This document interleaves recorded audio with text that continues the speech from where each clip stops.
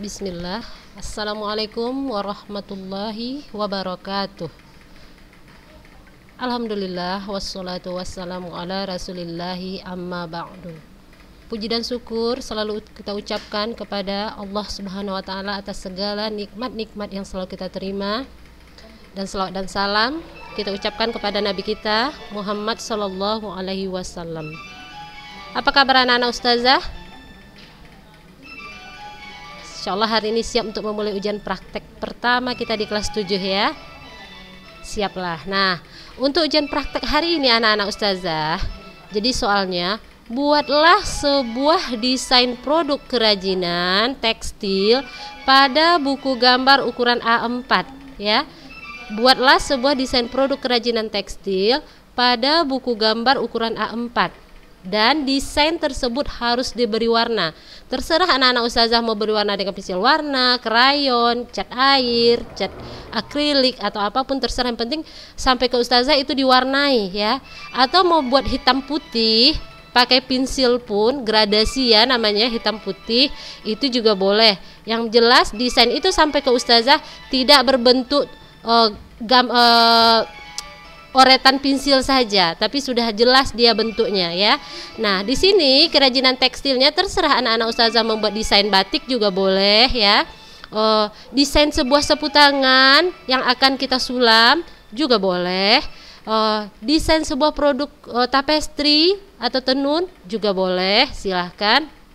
Yang penting itu produk kerajinan tekstil. Nah, anak-anak ustazah di sini nanti akan dinilai adalah yang pertama keaslian atau keoriginalan desain. Nah, ustazah akan tahu jika anak-anak ustazah menjiplak ya, menjiplak desain orang lain. Nah, Nah, desainnya harus original as, uh, karya anak ustazah. Ustazah tidak menuntut harus wah gitu ya.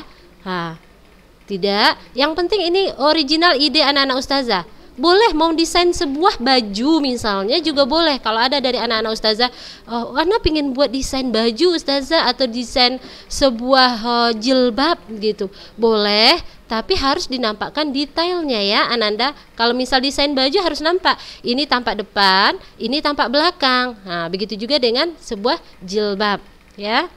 Tapi kalau untuk desain uh, batik misalnya motif batik tidak usah nampak tampak belakang cukup tampak depannya saja diwarnai ya Nah, desain tapestri juga, misalnya desain sulaman di taplak meja, sapu tangan atau penutup kulkas terserah. Yang penting produk sebuah kerajinan tekstil, ya. Nah, itu tadi penilaiannya pertama dari segi keaslian atau keoriginalan desain, ya, anak-anak ustazah. Nah, yang kedua, anak-anak ustazah itu kan menggambar di atas buku gambar ya, Nak ya. Nah, jadi kalau menggambar di buku gambar itu harus kita pikirkan yang namanya balance atau keseimbangannya ya. Jangan sampai di buku gambar A4 itu terus digambar di bagian pojok saja. Tidak ya, tapi harus dipikirkan bagaimana cantiknya ini dipandang. Jangan kecil toh di tengah desainnya juga tidak ya. Nah, jadi harus dipikirkan bagaimana bagusnya. Ah, mau dikasih garis tepi atau garis pinggir juga boleh ya di ukuran A4. Nah, tidak usah dikoyak buku gambarnya tidak tidak usah dijadikan kertas lembar ya, anak-anak ya. Biarkan buku gambar itu menyatu ya. Ustazah sebenarnya kurang kurang suka kalau mengumpulkan tugas kertas selembar kertas selembar. Nanti eh, tugas-tugas uh, anti tidak akan terekap tidak akan terkumpul jadi satu ya. Nah itu tadi ya. Warna nah, harus diwarnai. Nah, cukup. Itu untuk ujian praktek hari ini. Dan untuk pengumpulannya anak-anak ustazah harus dikumpul hari ini ya harus dikumpul hari ini.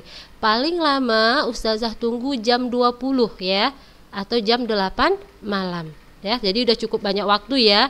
Jadi anti bisa mengerjakannya uh, cukup panjang waktunya mau diselingi dengan pelajaran lain juga masih bisa. Tapi ingat, ingat ya, lewat dari jam 20 atau jam 8 malam, mohon maaf ustazah sudah tutup, ustazah tidak terima ya. Kalaupun anti kirim, ustazah tidak akan merekap ke dalam uh, buku nilai. Nah, ya. Jadi ini ujian harus dikerjakan, jangan sampai tidak ada yang mengumpul. Ada yang tidak mengumpul ya, anak-anak ustazah ya. Paham ya?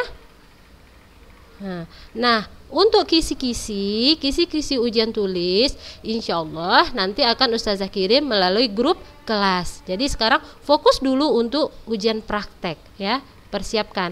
Nah kalau misalnya hari ini pewarnanya di rumah cuma ada pensil warna, udah manfaatkan aja pensil warnanya ya. Nah kalau cuma di rumah misalnya ada krayon, udah manfaatkan aja krayonnya atau di rumah memang ada cat air atau cat akrilik punya kakak misalnya atau punya anti waktu SD silakan manfaatkan itu tidak masalah sama ustazah ya.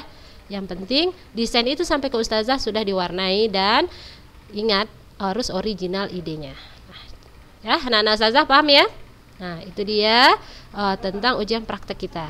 Selamat bekerja anak-anak ustazah. Ya tetap fokus ya tetap semangat ya. Yuk Barakallahu fikum. Assalamualaikum warahmatullahi wabarakatuh.